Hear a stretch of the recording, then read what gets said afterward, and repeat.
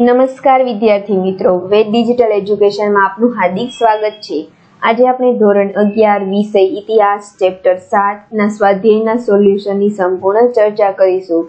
તો જો તમે ચેનલમાં નવા હોય તો ચેનલને સબસ્ક્રાઇબ કરી દો. જેથી તમામ વિષયની માહિતી તમને મળતી રહે. તો ચાલો શરૂ કરીએ. ચેપ્ટર સાત, મૌર્ય યુગ. પ્રશ્ન એક. નીચેના આપેલા પ્રશ્નોના વિસ્તૃત જવાબ આપો.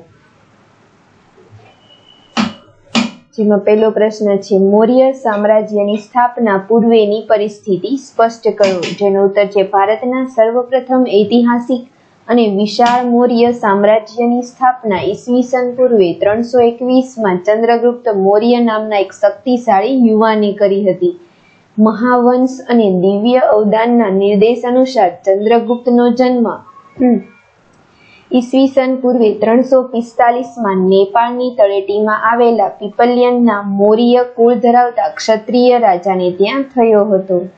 જૈન ગ્રંથોમાં તે મગધના નદવંશના છેલ્લા રાજા ધનાનંદની ઉપપત્ની મુરાનો પુત્ર હોવાનો નિર્દેશ મળે છે.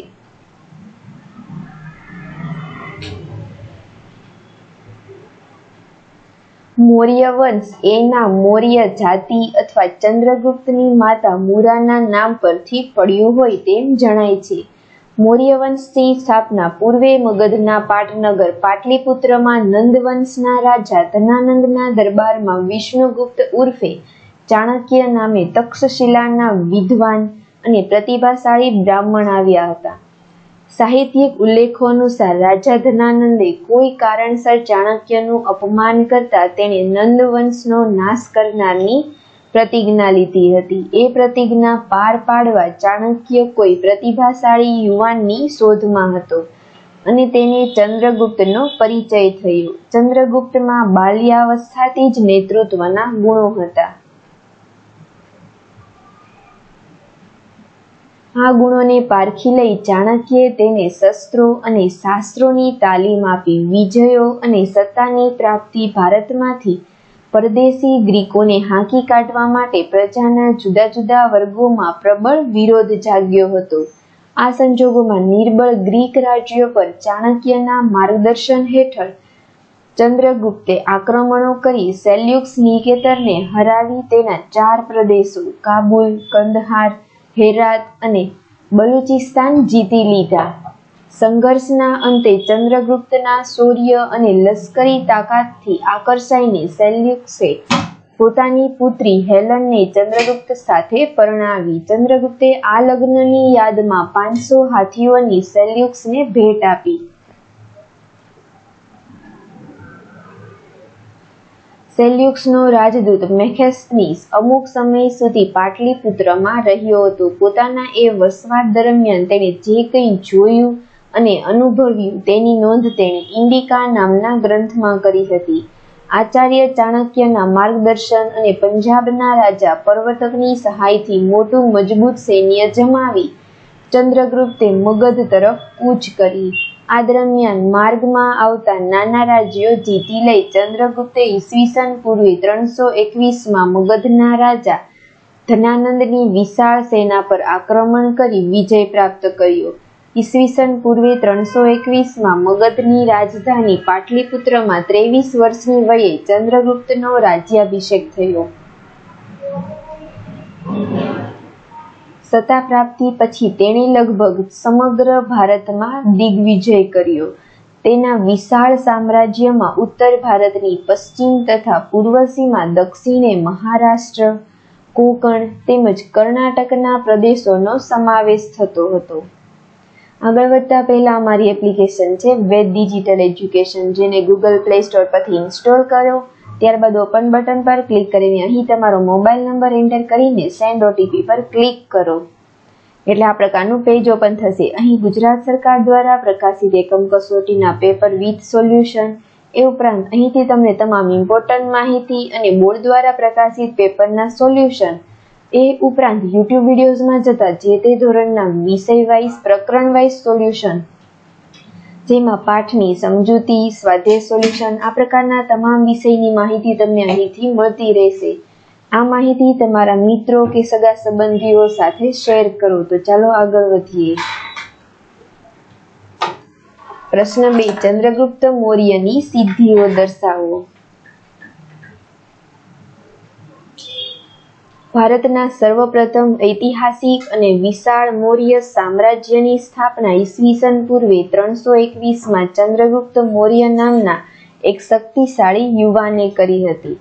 મૌર્ય વંશની સ્થાપના પૂર્વે મગધના પાટનગર પાટલીપુત્રમાં નંદવંશના રાજા ધનાનંદના દરબારમાં વિષ્ણુગુપ્ત ઉર્ફે ચાણક્ય નામે તક્ષશિલાના વિદ્વાન અને પ્રતિભાશાળી બ્રાહ્મણ આવ્યા હતા.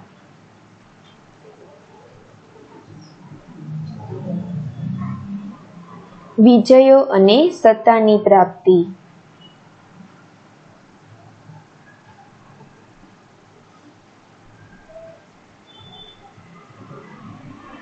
ઈસવીસન પૂર્વે ત્રણસો એકવીસમાં મગધની રાજધાની પાટલીપુત્રમાં ત્રેવીસ વર્ષની વયે ચંદ્રગુપ્તનો રાજ્યાભિષેક થયો.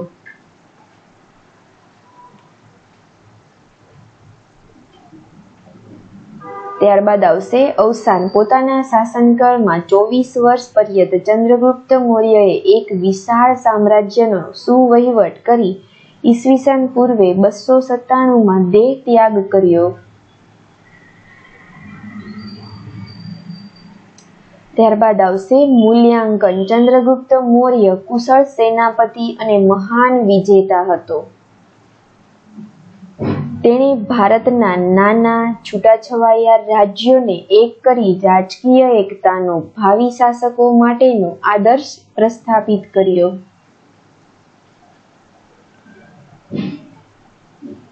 ત્રીજો પ્રશ્ન, બૌદ્ધ ધર્મના વિકાસમાં સમ્રાટ અશોકનો ફાળો વર્ણવો. જેનો ઉત્તર આ પ્રમાણે છે. તમે વિડીયોને પોઝ કરીને વાંચી શકો છો.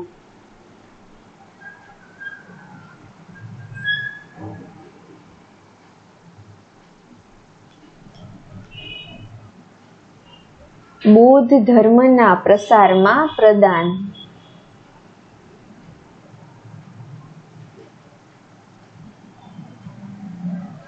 બૌદ્ધ ધર્મના ઉપદેશો તથા વ્યક્તિએ પાળવાના નિયમોને તેણે શિલાલેખો, સ્તંભલેખો અને ગુફાલેખો પર કોતરાવ્યા. સમ્રાટ અશોકે બૌદ્ધ ધર્મ સ્વીકાર્યા બાદ પોતાના રાજ્યમાં સર્વત્ર અહિંસાનું સામ્રાજ્ય સ્થપાય એવી તેની ઈચ્છા હતી. મુખ્ય શિલાલેખ નંબર એકમાં જણાવ્યા મુજબ તેણે રાજ્યના રસોડામાં દરરોજ સેંકડો પશુઓનો થતો વધ બંધ કરાવ્યો હતો.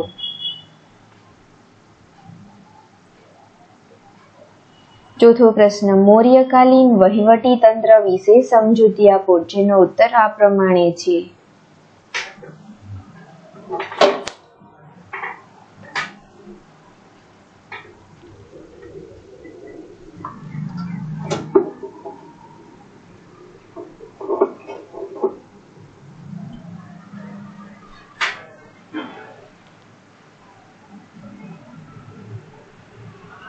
અશોકના અભિલેખો, સ્તૂપો, વિહારો, ચૈત્યો, સ્મારકોના અવશેષો અને સિક્કાઓ જેવી અવશેષીય સામગ્રીમાંથી પણ મૌર્ય યુગના વહીવટી તંત્રને લગતી માહિતી પ્રાપ્ત થાય છે.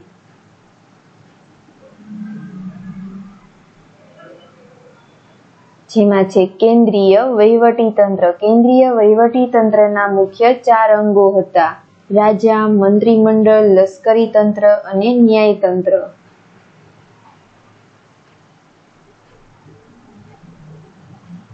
રાજા મુખ્યમંત્રી અને અન્ય મંત્રીઓની નિમણૂક કરતો.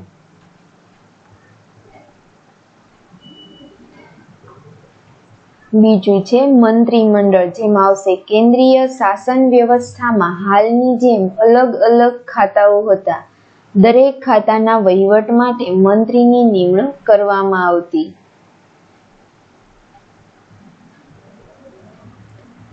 કૌટિલ્યએ કેન્દ્ર સરકારના અઢાર જેટલા ખાતાઓનો નિર્દેશ કર્યા છે, જેમાંના મુખ્ય ખાતા અને તેના મંત્રીઓ નીચે મુજબ હતા. પેલું છે દાન ધર્મ ખાતું, બીજું છે નાણાં અને મહેસૂલ ખાતું અને ત્રીજું છે લશ્કરી ખાતું. ચોથું છે વેપાર ખાતું અને પાંચમું છે પરરાજ્ય ખાતું.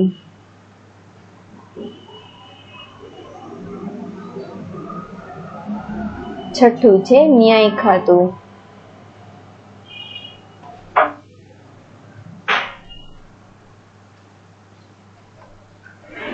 મૌર્ય યુગનું લશ્કર મજબૂત અને શક્તિશાળી હતું.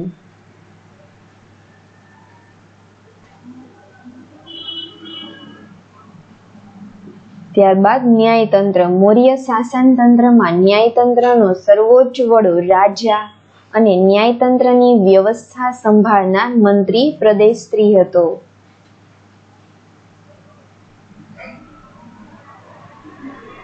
રાજ્યના ગુપ્તચરો ન્યાયાધીશોને તપાસના કાર્યમાં મદદ કરતા પાંચમો પ્રશ્ન, મૌર્યકાલીન કલા વિશે માહિતી આપો. જેના ઉત્તરમાં આવશે, પ્રાચીન ભારતના ઇતિહાસમાં સમ્રાટ અશોકના અભિલેખો મહત્વનું સ્થાન ધરાવે છે. આ અભિલેખોમાં શિલાલેખો, સ્તંભલેખો અને ગુફાલેખોનો સમાવેશ થાય છે.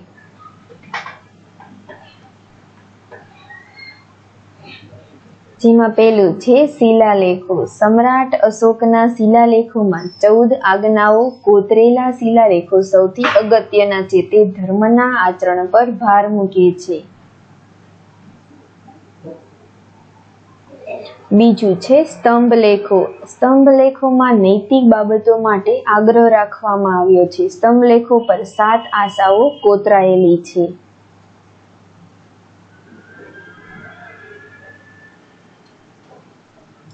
ત્રીજું છે ગુફા લેખો.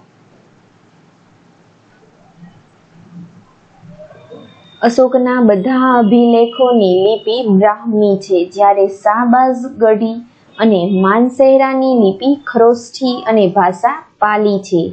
આ બધા જ અભિલેખો નૈતિક અને ધાર્મિક હેતુ ધરાવે છે.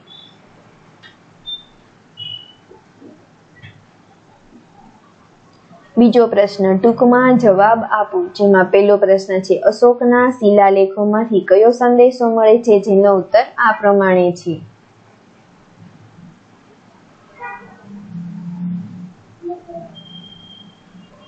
જીવનમાં શ્રમ કરવા તથા પ્રામાણિકતા દાખવવા પર તે ભાર મૂકે છે. આવતા જન્મનું ફળ આ જન્મના કર્મો પર આધાર રાખતું હોવાનું તે જણાવે છે. પોતાની પ્રજા ધર્મના માર્ગે ચાલે છે કે કેમ તે અંગેની સંભાળ રાખવા તેણે રાજ્યમાં ધર્મ મહાપાત્રોની નિમણૂક કરી હતી.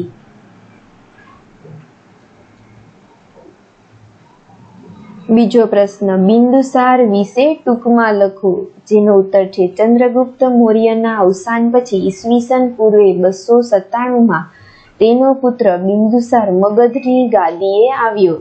તેનો રાજ્ય અમલ ઈસવીસન પૂર્વે બસો તોતેર સુધી રહ્યો હતો.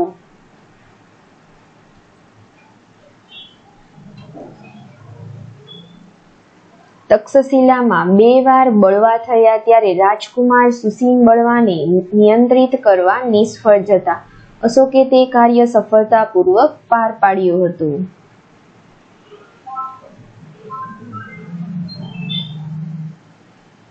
ત્રીજો પ્રશ્ન. કૌટિલ્યના અર્થશાસ્ત્ર વિશે જણાવું, જેનો ઉત્તર આવશે, મૌર્યકાલીન ઇતિહાસ જાણવામાં અનેક સાધનો પ્રાપ્ત થયા છે, જેમાં સૌથી મહત્વના અશોકના ચુમ્માલીસ અભિલેખો છે. ચાણક્ય એ ચંદ્રગુપ્ત મૌર્ય અને બિંદુસારના માર્ગદર્શક રહ્યા હતા. તેમણે સપ્તાંગ સિદ્ધાંતની રચના કરી હતી. ચોથું છે, ઇન્ડિકા વિશે ખ્યાલ આપો, જેનો ઉત્તર છે, મૌર્યકાલીન ઇતિહાસ જાણવાના અનેક સાધનો પ્રાપ્ત થયા છે, જેમાં સૌથી મહત્વના અશોકના ચુમ્માલીસ અભિલેખો છે.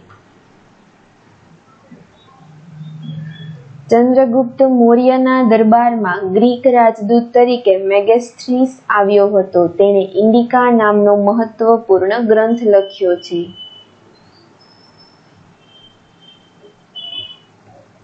પાંચમો પ્રશ્ન. મૌર્ય સામ્રાજ્યના વિદેશો સાથેના સંબંધો સ્પષ્ટ કરો. જેનો ઉત્તર છે, મૌર્ય સામ્રાજ્યમાં ચંદ્રગુપ્ત મૌર્યના સમયથી જ ભારતનો વિદેશો સાથેનો સંપર્ક શરૂ થયો હતો.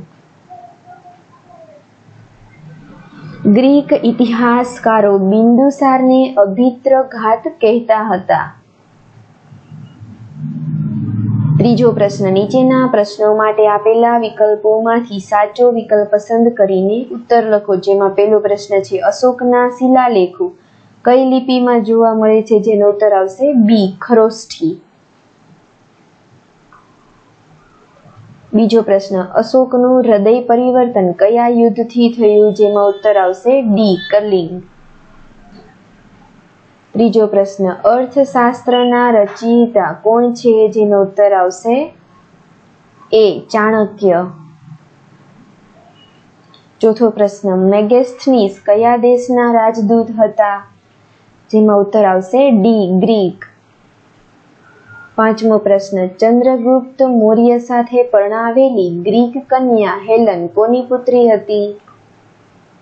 જેમાં ઉત્તર આવશે બી, સેલ્યુક્સ. Thank you.